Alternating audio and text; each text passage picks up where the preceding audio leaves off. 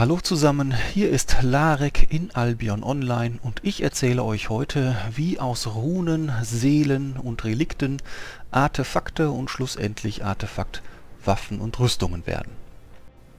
Damit ihr wisst, worauf ich hinaus will, äh, fange ich quasi mit der Erklärung mal hinten an. Also zäume das Pferd quasi von hinten auf.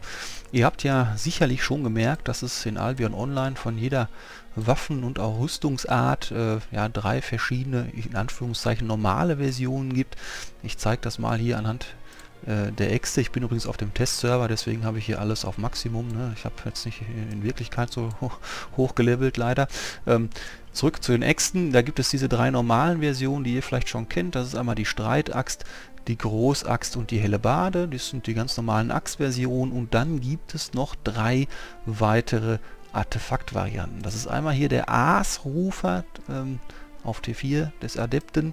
Ähm, besteht aus den normalen Rohstoffen plus einem Artefakt, dazu später mehr. Dann gibt es hier die Höllensense, genau das gleiche, besteht aus den normalen Fähigkeiten, äh, Rohstoffen plus einem Artefakt und zu guter Letzt die Bärentatzen. Äh, die haben jeweils auch ein eigenes individuelles eine, oder eine eigene und individuelle E-Fähigkeit, genau wie die drei normalen Versionen und ja, die sollten eigentlich im Durchschnitt alle etwas stärker sein. Das trifft nicht unbedingt auf jede Artefaktwaffe zu. Manche sind auch nur für ganz bestimmte ähm, ja, Gelegenheiten zu gebrauchen, aber grundsätzlich kann man das so sagen. Hier hinten, um jetzt nochmal kurz auf die Skills einzugehen, hier hat man die drei normalen, das sind diese drei hier, kann man dann leveln und die drei Artefaktwaffen verbergen sich alle hinter diesem Artefakt-Axt-Kampf-Spezialist-Skill. Das heißt, wenn man das hochlevelt, levelt man quasi alle drei Artefakten gleichzeitig, ähm, Artefaktwaffenarten gleichzeitig, die sich dahinter verbergen. Jetzt zur Frage, wie kann ich so eine solche Artefaktwaffe herstellen? Da kommen die äh, ja, Runen, Seelen und Relikte ins Spiel, die ihr sicherlich schon mal gefunden habt. Die Runen, die gibt es quasi wie, ich will nicht sagen Sand am Meer, aber die sind nicht so unbedingt selten. Äh, die Seelen schon etwas seltener und die Relikte doch schon relativ selten. Die gibt es äh, in, auf jeder Tierstufe ab 4 aufwärts bis nach 8 gibt es die. Ähm, und die werden oder sind quasi für stärkere Versionen äh, der Artefaktwaffen und Rüstungen äh, ja, Rohstoffe, wenn man so will. Äh, diese Runen und Seelen und Relikte kann man eintauschen gegen Artefakte und aus diesen Artefakten ähm, kann man dann die Artefaktwaffen und Rüstungen herstellen. Wie das geht, zeige ich euch jetzt. In jeder der großen Städte gibt es eine sogenannte Artefaktgießerei. Das ist hier dieser NPC mit diesem äh, sternförmigen Tisch und hier ist so ein riesiger Hammer. Äh, auf der Karte sieht der folgendermaßen aus. Der hat hier so ein äh, Symbol, das ist glaube ich soll eine Essenz sein, was auch immer das rein optisch darstellen soll, weiß ich nicht, ist auf jeden Fall dieses Symbol und wenn man draufklickt, hat man hier verschiedene und im ersten Augenblick auch recht verwirrend aussehende Möglichkeiten.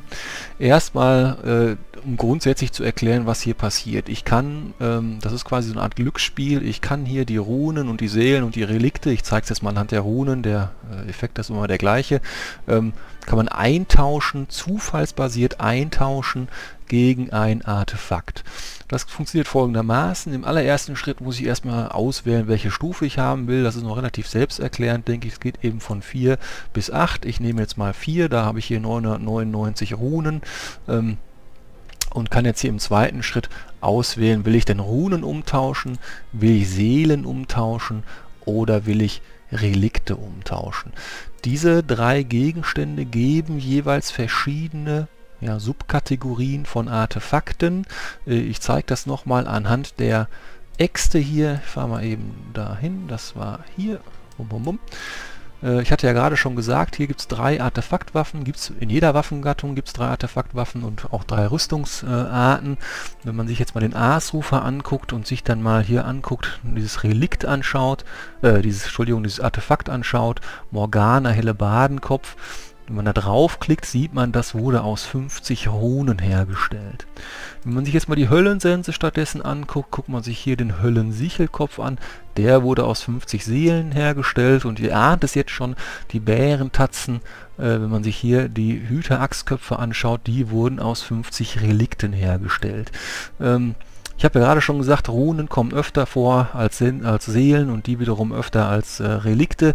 Ähm, so ist das hier auch mit der ja, mit der Stärke der Waffen. Man kann eigentlich sagen, dass die Bärentatzen hier auf jeden Fall die stärkste Waffe darstellen aus diesem Trio, äh, gefolgt von der Höllensense und die Arasrufer hier die schwächste Variante der Artefaktwaffen ist, was aber nicht unbedingt heißt, dass sie schwach ist. So, wie kommen wir jetzt an, an die Artefakte dran?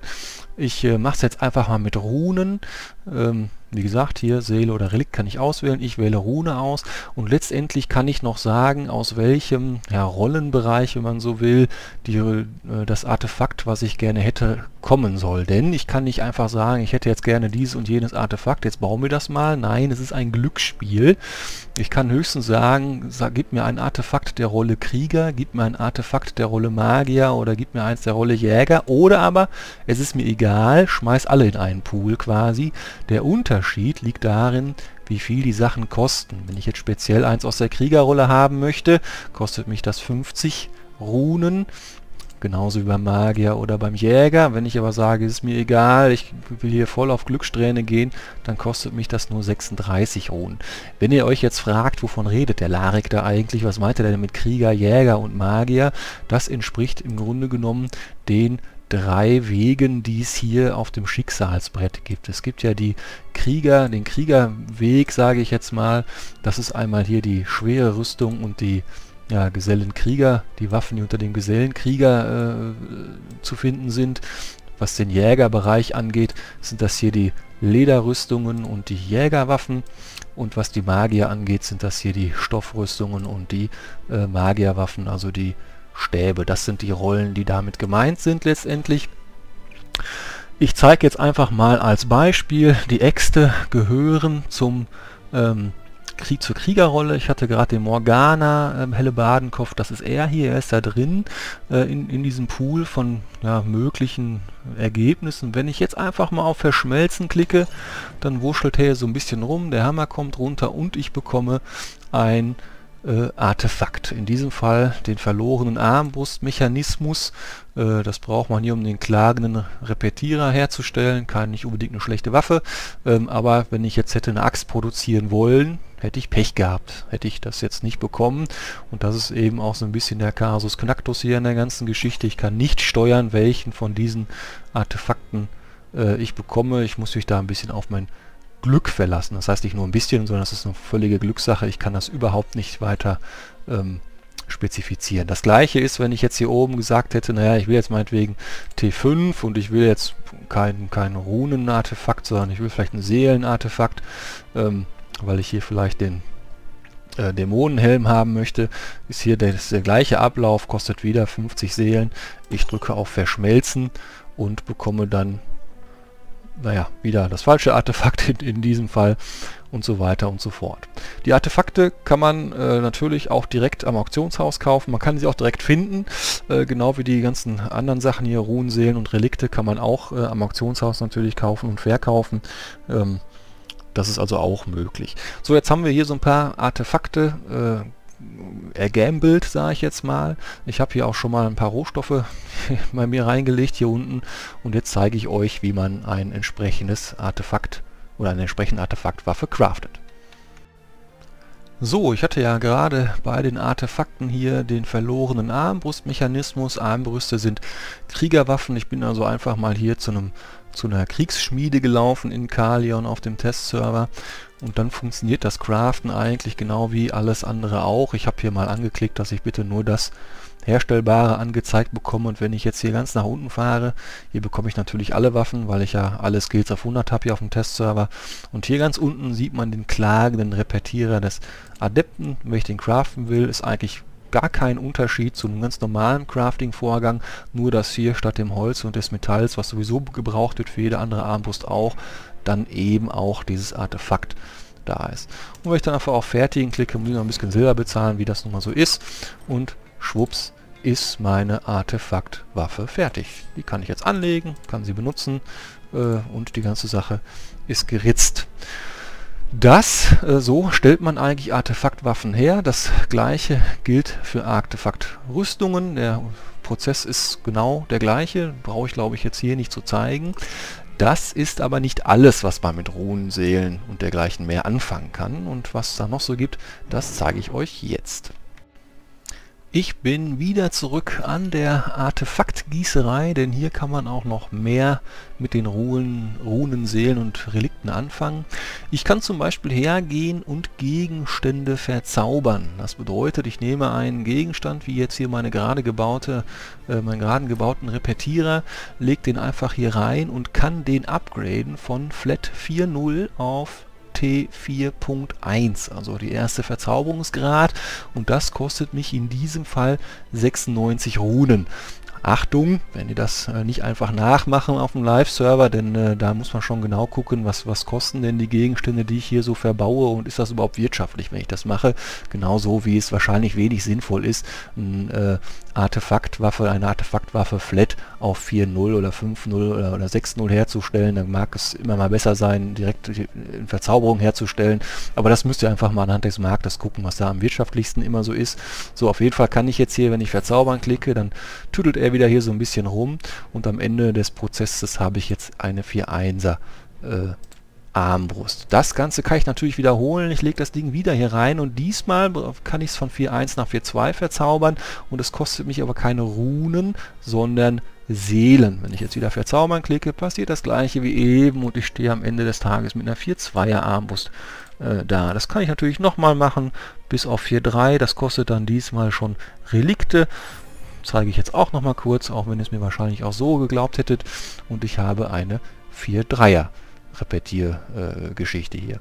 Das ist aber noch immer nicht alles, was ich mit Runen und dergleichen machen kann. Nein, ich kann die auch umwandeln. Wenn ich jetzt zum Beispiel sage, ja, ich habe hier 800 äh, Runen und ich brauche aber lieber Seelen oder hätte lieber Seelen, dann kann ich die hier bei der Artefaktgießerei umwandeln. Ich wähle hier einfach aus hier die Seelen und sehe dann, aha, eine Umwandlung von der Rune zur Seele kostet mich eine Rune und zweieinhalbtausend Silber oder aber ein äh, eine Einheit gesammelte Energie. Ich kann also einfach sagen, naja komm, wandle mal 56 Stück um, fertigen.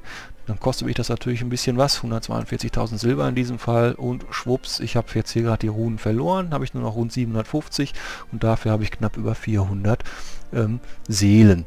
Das Ganze funktioniert nicht nur auf einer Stufe, dass man Runen in Seelen und Seelen in Relikte umwandeln kann. Nein, man kann sie auch upgraden von der Tierstufe her. Ich kann also aus einer T4-Rune auch eine T5-Rune machen. Kostet mich in dem Fall aber, also eine T5-Rune kostet mich in dem Fall aber gleich 5 T4-Runen. Man kann also aus den 747 Runen T4, die ich hier habe, gerade mal rund 150 T5er machen. Wenn ich jetzt auf Fertigen klicke, sehen wir, ich habe fast keine T4er mehr, dafür hier 150 oder rund 150 T5er. Ja, das war eigentlich so alles, was man erstmal mit diesen Gegenständen machen kann. Ihr seht, ähm, die findet man zwar relativ viel, aber äh, sie sind für die Wirtschaft Albions sehr, sehr wichtig, denn die Artefaktwaffen und Artefaktrüstungen sind eben auch sehr, sehr wichtig. Von daher überlegt euch gut, was ihr damit macht. Äh, ihr könnt sie hier verkaufen, ihr könnt sie selbst benutzen. Ich selber äh, ich wandle die nie um hier in, mit, äh, in, in ups, daneben geklickt, ich wandle die nie um hier, weil ich da immer so ein gnadenloses Pech bei habe, dass ich immer absolut wertlose Artefakte bekomme und mich nachher ärgere, dass ich die Runen nicht am Auktionshaus verkauft habe. Diese Lektion habe ich gelernt, seitdem verkaufe ich die nur noch und kaufe die Artefaktwaffen direkt, die ich brauche. Aber ich habe auch schon von Kollegen gehört, die da sehr, sehr, sehr viel mehr Glück hatten. Ja, mehr gibt es eigentlich an dieser Stelle nicht zu erzählen. Ähm, ich hoffe, ihr konntet ein bisschen was mitnehmen, habt äh, ja, könnt das Wissen anwenden. Äh, falls ihr weitere Fragen habt für, zu Albion, über Ideen, äh, wozu ich weitere Videos machen könnte, einfach in die Kommentare schreiben, da freue ich mich.